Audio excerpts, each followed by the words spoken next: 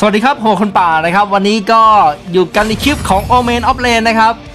ในคลิปนี้ขอเสริมสาระต้นคลิปไปนิดนึงแล้วกันนะครับ ถ้าชอบไม่ชอบไอ้ก็พิมพ์มาบอกหน่อยแล้วกัน หรือไม่ก็กดข้ามไปตอนเข้าเกมได้เลยนะครับนั่นในเกมนี้เนี่ยก็มีคนขอนะครับว่าขอดูหน้าดับแบนกันนิดนึงนะครับก็จัดให้ครับก็หน้าดับของในร้านสูงๆเนี่ยก็จะมีการแบนกันประมาณนี้เลยนะครับ ก็แล้วแต่ดับไปนะครับ แต่ที่สำคัญที่สุดเนี่ยก็จะมีการแบนฟิปกับอาญาเป็นหลักนะครับแล้วก็ที่เหลือก็รองลงมานะครับก็แล้วแต่ดับกันไปนะครับ ซึ่งในเกมนี้ทีมเขามีการหยิบเรียวมะแล้วก็หยานขึ้นมานะครับ เพราะงั้นเราก็จะเอาโอเมนไปชนนะครับ ประมาณนั้นนะ คือโอเมนในเกมนี้เนี่ยมันสามารถสู้กับไบโอได้ดีนะครับแล้วก็ไม่ค่อยกดคิกฟี่เท่าไหร่นะครับเพราะว่าผลของ skill 2นะครับแล้วก็ชนะเลนโลมะแล้วก็ ไม่แพ้ทางหยานนะครับ เรียกได้ว่าโอเมนหยิบมาในเกมนี้ถือว่าค่อนข้างดีเลยนะครับ จะเน้นที่การไม่เสียทางเลนออฟซะมากกว่านะ และนี่รอโลมเขาเปิดอีกตัวหนึ่งนะครับอืมอลิเตอร์โลม โอ้เฮ้ยเกินไปอลิเตอร์โลมเลยเหรอดามในเกมนี้เหรอ เออดามเกมนี้อลิเตอร์ ผมว่าไม่ค่อยโอเคเท่าไหร่นะ เพราะมีซิลิก้านะครับเล่นยาก แล้วก็ในเกมนี้ผมอยากได้เอ่อ รูนนะครับที่เขาใช้เป็นรูนโกลเด้นนะครับโกลเด้นสปริตแล้วก็ดักกันคอนะครับแต่ไม่มีก็ไม่เป็นไรครับก็เดี๋ยวใช้เป็นรูนตีไวยี่หกเอาละกัน เพราะเกมนี้เนี่ยน่าจะต้องรับดาเมจเยอะนะ แล้วก็มีเลตเตอร์ด้วยนะครับเราก็กดโดนจับเหมือนกันนะ ถ้าโดนจับปุ๊บเราก็ต้องใช้ข้อปืนสู้หน่อยนะครับประมาณนั้นก็เลยอยากได้เป็นโกลเด้นขึ้นมานะครับแต่ไม่มีที่เลือกก็ไม่เป็นไรโดยรวมดับเราเออน่าจะชนะนะ ไม่น่ามีปัญหาอะไรนะครับดับในเกมนี้นะดับดับมันดีอยู่แต่ว่าแต่ว่า เห็นรายชื่อสมาชิกแล้วเนี่ย เฮ้ย มีปูนิ่มกับอีจองซอกอีกแล้วนะครับ เรียกได้ว่าเจอบ่อยบ่อย ซึ่งหลายๆคนที่ตามที่ผมมาเนี่ยก็น่าจะรู้ดีนะครับ ว่ามันเป็นอะไรยังไงนะ ซึ่งในเกมนี้เนี่ยเราอัดกันไว้นานมากแล้วนะครับ ก็น่าจะสักประมาณห้าวันก่อนนะครับ น่าจะประมาณห้าวันก่อนนะ ก็เพิ่งหยิบโอภานะครับ ในเกมนี้เนี่ยผมก็กดมากับพี่รถไฟนะครับ เพราะว่า ตอนนี้เนี่ยกดโซโลมามันหาห้องยากจริงครับ ก็เลยเต้องมีการหยิบคนขึ้นมาเล่นด้วยนะครับ ซึ่งจะเห็นได้ว่าเออช่วงนี้เนี่ยผมไปเล่นกับน้องเอกไฮบิทเอ็กค่อนข้างบ่อยนะครับ เพราะว่ามันหาห้องลำบากครับหาห้องนาน ขนาดกดสามนี่ยังหาห้องนานมากเลยนะครับ แล้วก็ตอนนี้ผมเปลี่ยนชื่อแล้วนะ ก็ใช้ชื่อเป็นคนป่าเลยนะครับไอพวก Happy ROV ไอ้ตอนนี้นะไม่มีแล้วนะครับ ถ้าเป็นก็จะเป็นพวกคลิปเก่านะครับที่อัดเอาไว้นะครับ เดี๋ยวนี้เรามาเอามังกรเลยนะครับ แต่ว่าเรียวมานี่ damage แรงกว่าครับ ปิดคิวทำมังกรไปได้ครับ ตอนนี้เราก็รอ wave คิวต่อไปก่อนนะครับ แล้วก็ในช่วงต้นเกมนะ ผมจะยังไม่ไปแท็กทางเลนกลางนะครับยกเว้นเขาจะมีไฟนะ ผมถึงจะไปแท็กนะครับ เพราะว่าเราจะต้องเร่งสี่ให้ mage อะไวที่สุดนะครับ เอาเบนเดี๋ยวสี่ทีหลังก็ได้ไม่ต้องรีบนะครับ ตอนนี้ก็เล่นประคองประคองกันไปนะครับ แล้วก็ทางโอเมนครับ อัพสองขึ้นมาก่อนนะ มันจะช่วยลด damage ที่โอเมนได้รับลงค่อนข้างเยอะเลยนะครับ Where shall I start? เดี๋ยวตรงนี้เรามาอยู่ตรงกลางนิดนึงครับ เดี๋ยวดูก่อนว่า mage เราจะมีไฟหรือเปล่านะครับ แต่ว่าพอ mage มีไฟปุ๊บเราก็ปล่อยคลิปตรงกลางเลยนะครับ เดี๋ยวขึ้นไปเออเลนบนเลยนะครับ ให้เซนก้าสี่ก่อนนะ เกมจะเล่นง่ายนะครับ The end ช่างเป็น offlane ที่ใจดีมากๆ แต่ offlane แผ่นนี้ต้องเล่นอย่างนี้นะครับไม่ไปแท็กทางเลนกลางสักเท่าไหร่นะครับจะเน้นที่ชิงมังกรเอานะครับเดี๋ยวเวฟก่อนครับ ตอนนี้ก็เกือบจะเลเวลสี่นะครับแล้วก็ตอนนี้พี่รถไฟนะครับเขาก็เริ่มมีการบอกให้ทีมรู้แล้วนะครับ ว่าไอ้ทีมเนี่ยเขาใช้แฮกนะครับต้องระวังตัวนะ ซึ่งถ้าหากเราบอกเพื่อนตรงนี้เนี่ยเขาก็จะเปลี่ยนสไตล์การเล่นนะครับเขาก็จะเริ่มไม่ค่อยดักนะครับ แล้วก็เล่นแบบว่าเปิดหน้าชนกัน แล้วก็เล่นการฟาร์มขึ้นมานะครับ แต่บางคนบอกไปก็ยังดักอยู่อย่างนั้นนะครับ ก็อืมแล้วแต่คนนะครับแต่บอกไว้ก่อนที่สุดนะครับ แล้วก็ตอนนี้เรามาอยู่ทางเลนกลางนะครับ เดี๋ยวเรามาดักเขากันนิดนึงครับ An enemy has been เราฟาร์ม defeated. เลนเสร็จก่อนนะครับ แล้วก็มีสิทธิ์ที่ดักเขานะครับ แล้วก็ตรงนี้ทางเรือมาสิฟิกเกอร์ครับ เดี๋ยวรอบหน้าเดี๋ยวเราจะจับเขาได้แล้วครับ เพราะว่าเรามีฟิกเกอร์นะ An enemy has been defeated. ตอนนี้ทีมนี่อ่าทำสกอร์ได้ดีเลยนะครับ จากดาร์ฟที่ดีกว่านะครับตอนนี้ แต่ก็ตอนนี้เราเคลนเลนกลางได้ครับแล้วก็ขึ้นไปทางเลนบนเลยนะครับเดี๋ยววันนี้เขาออกรองเท้ากับจอกอขึ้นมาก่อนนะครับเกมนี้ผมใช้เป็นรองเท้าเหล็กนะ เพราะว่าทีมเขาซีซีน้อยนะครับ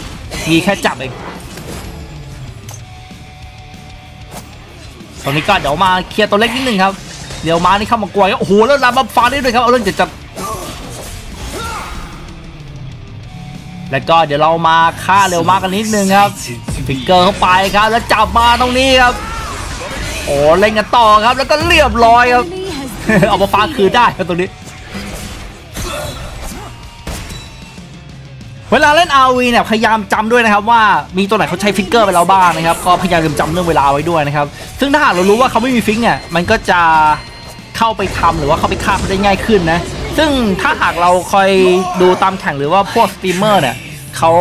คุยกันนะครับ จะเห็นได้ว่าเขาจะพูดถึงเรื่องของการใช้ flicker ค่อนข้างบ่อยนะ อย่างเช่น คนนี้ใช้ flick ไปแล้ว คนนี้ใช้ flick ไปแล้วนะครับประมาณนั้นเลยนะ แล้วก็ตอนนี้ทางทีมเรานะครับ ก็เริ่มกันคุยกันในเรื่องของการใช้ hack นะครับ ว่ามีใครใช้ hack บ้างในวันนี้นะครับ แต่ก็ยังไม่มีผลกระทบกับเกมสักเท่าไหร่นะครับ ในตอนนี้เราก็พยายามฟาร์มเดียวเลยนะครับ แล้วก็เรียวมะนี่เหมือนจะแค้นๆเราหน่อยๆนะครับอารมณ์ประมาณว่าพอพอเรามีป่ามาด้วยทำไมไม่บวกในวันนี้นะ แต่กี้เขาโดนลุมไปนะครับ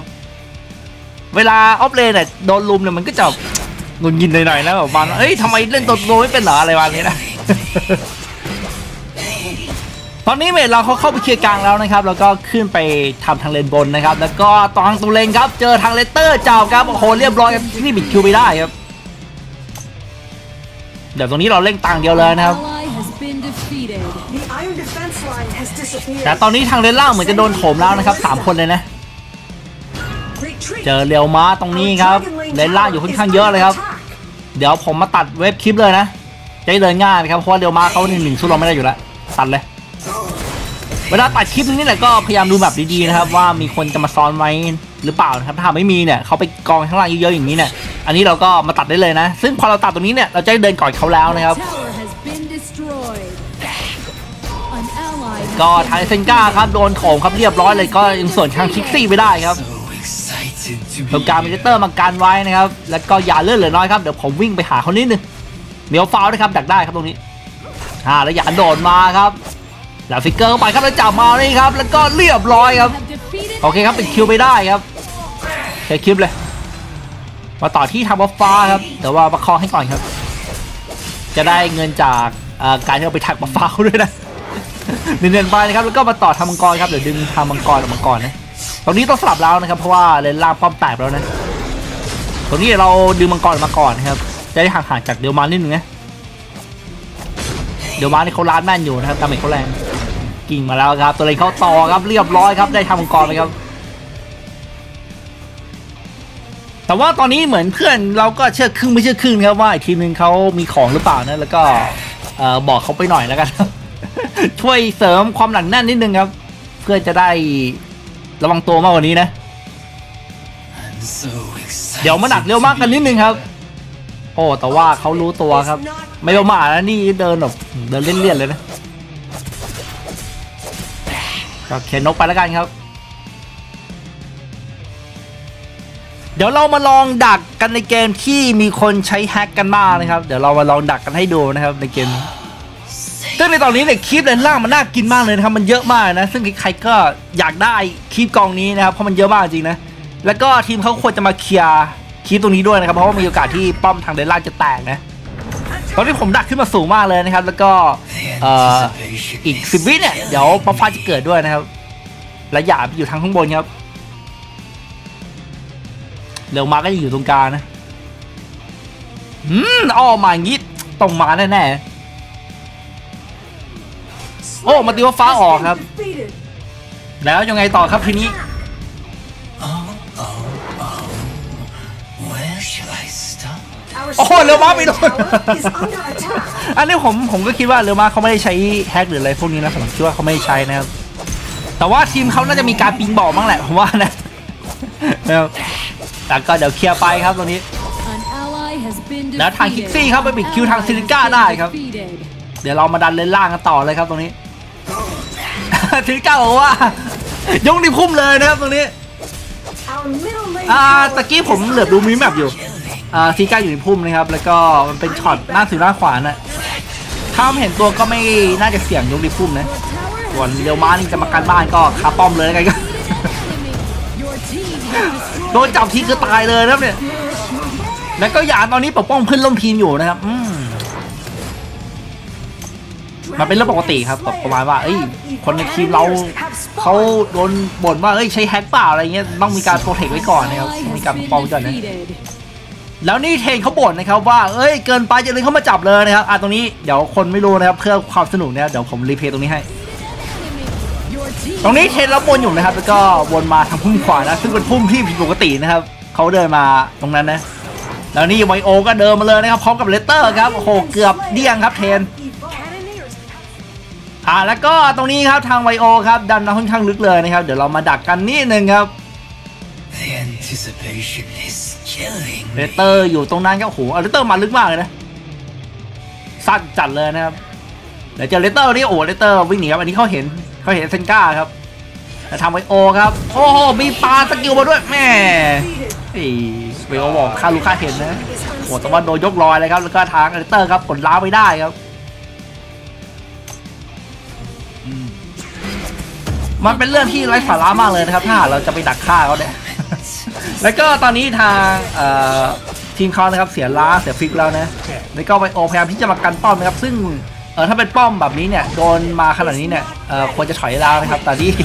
วิ่งมาเฉยครับเรียบร้อยเลย An enemy has been defeated. เป็นผมผมทิ้งป้อมไปแล้วเนี่ยเอาจริง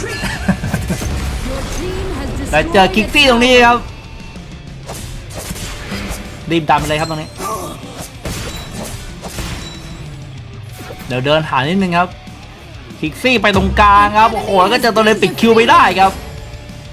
แล้วตรงนี้ครับไฟไม่จบครับยานเข้ามาเติมครับเดี๋ยวรอนิดนึงครับ